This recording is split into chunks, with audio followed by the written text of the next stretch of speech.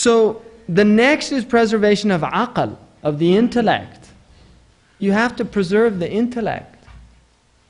Because that's where we were honored, with the intellect. So Sharia came to preserve the intellect. So it prohibited things that harm the intellect. So anything that harms the intellect, Sharia says avoid it to preserve your intellect. Like intoxicants.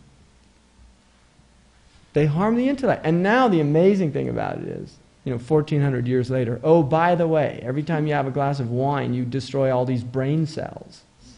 Right? Literally, you kill brain cells. And, and then there's people who say, well, we've got so many, that's okay, right? I mean, we can afford to lose a few, right?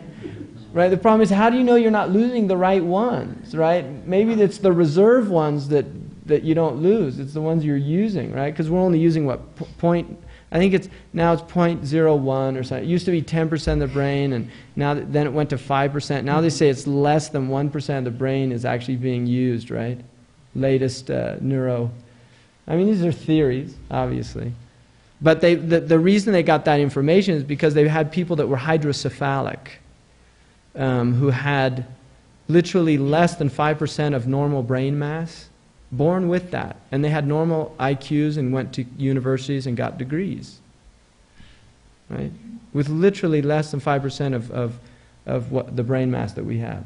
And I really think in some ways, Allah Ta'ala this is purely speculation. I have absolutely no evidence for this.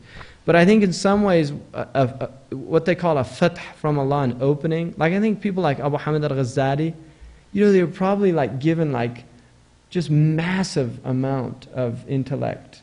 You know, it was opened up for them. People like that. Because you wonder, I mean, how these people could write what they wrote. You know, man writes 400 books and, you know, just the things that they knew. And just sitting with some of the people I've sat with, like Murabit al-Hajj, who's mastered I mean, he's mastered around, you know, 15 sciences that just one of them, if you master that in your lifetime, that is a major accomplishment.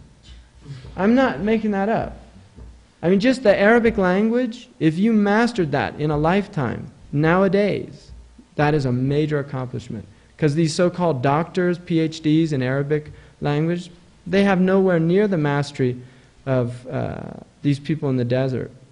Really, they don't.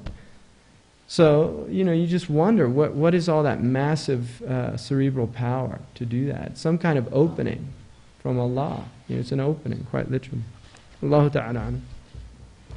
So, so how, where did we go? We said the light, the uh, uh, deen, uh, nafs, right? Nasab, wealth, and intellect. Those are the five.